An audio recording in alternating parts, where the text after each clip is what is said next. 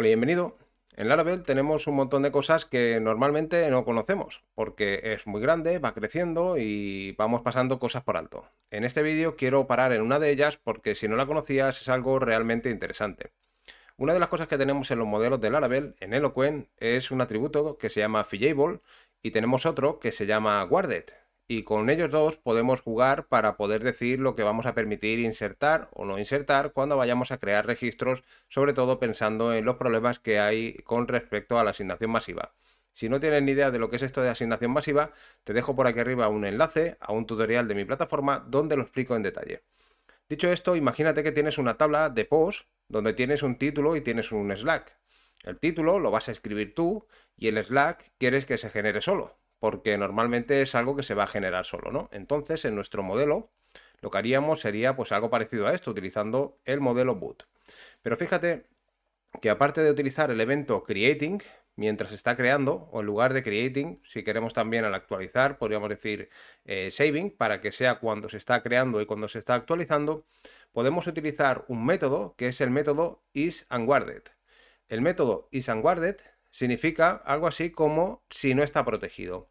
Si no está protegido, entonces vamos a poder sobreescribir, vamos a generar el slug automáticamente. Pero si está protegido, entonces no.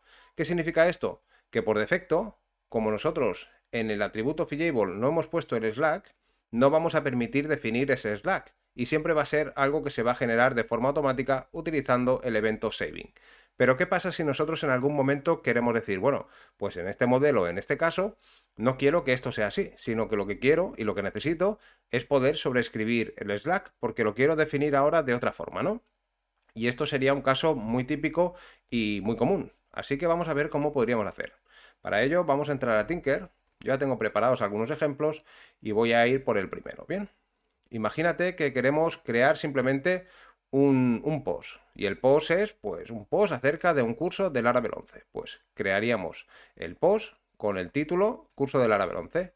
Si ejecuto, fíjate que el Slack se genera solo, en base al título, que es como tiene que ser, ¿no? Entonces ahora lo que haríamos sería, bueno, pues aparte de esto, quiero crear otro, otro post y en este caso le voy a decir que el título es ruta de filament 3 y el Slack va a ser ruta de filament 3 tal cual la tengo escrita aquí. Y esto no va a funcionar, lo que se va a quedar como Slack va a ser ruta-filament-3.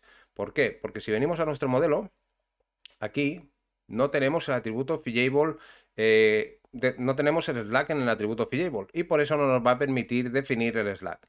Es decir, si ejecutamos, en lugar de ruta de filament 3, va a ser ruta-filament 3, porque esto de aquí se ha omitido, no se va a utilizar porque no estamos haciendo lo que tenemos que hacer. Ahora vamos a hacer una cosa, vamos a decir que lo que queremos hacer es un onward. Es decir, queremos temporalmente desproteger el modelo POST para poder hacer lo que nosotros necesitemos. Así que ejecutaríamos este comando o este código donde necesitáramos y a continuación, después del Unguard, crearíamos un post con el título curso de Lightwire 3 y fíjate que tenemos el D en el título, pero en el Slack ponemos curso-lightwire-3. Si ejecutamos, ahora sí que me lo respeta, porque he hecho el Unguard. Es decir, temporalmente he desprotegido la asignación masiva para poder hacer lo que necesite, que puede ser un caso muy común. Una vez hacemos esto, siempre recomendación, volver a proteger los modelos. En este caso, post-reward. Y con esto volvemos a hacer que lo que tenemos en el atributo fillable para protegernos de asignación masiva funcione como estaba funcionando anteriormente. Si volvemos a hacer esto y limpiamos, podríamos ver el último caso que a ver si lo puedo recuperar, ruta del Laravel 11 desde cero. Y fíjate que estoy volviendo a definir el Slack y pongo ruta Laravel 11. Como yo he vuelto a proteger de nuevo mi modelo de post, ya no me va a dejar crearlo, porque el Slack se va a generar automáticamente porque este, este modelo está protegido, no está desprotegido. Así que si ejecuto, fíjate que se va a generar el Slack, en lugar de con este Slack, se va a generar con el título, ruta del Laravel 0 de 0.